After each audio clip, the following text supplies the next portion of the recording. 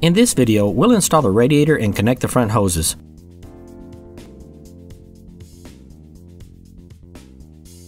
Place the lower radiator pins into the radiator grommets. Align the upper studs and push them through the radiator mount tabs. Install the M6 nuts and washers from the K22H baggie.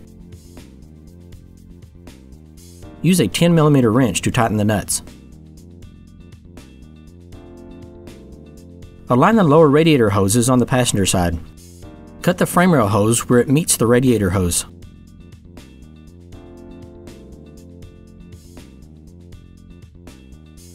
Slip two of the hose clamps from the K22A baggie onto the hoses, then insert one of the smaller hose splices.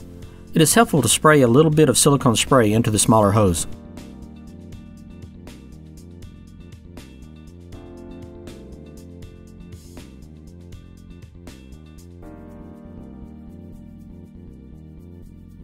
Tighten the hose clamps on the splice.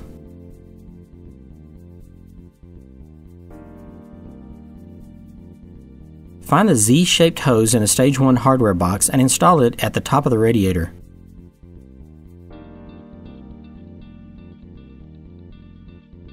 Align the other end of the hose with the driver's side frame rail hose. Cut the frame rail hose here and install a splice just like on the passenger side.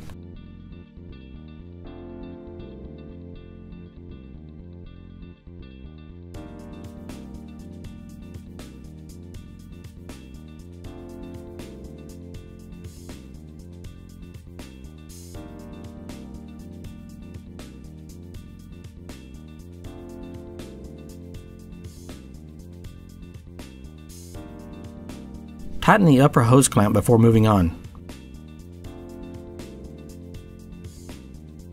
Use a self-drilling screw to install the radiator fan ground on the top square tube. Find the radiator fan power wire that was extended when reworking the harness. Cut it as shown and crimp on a spade terminal to match the radiator fan wire terminal. Connect these wires. Zip tie the passenger side wires to the square tube.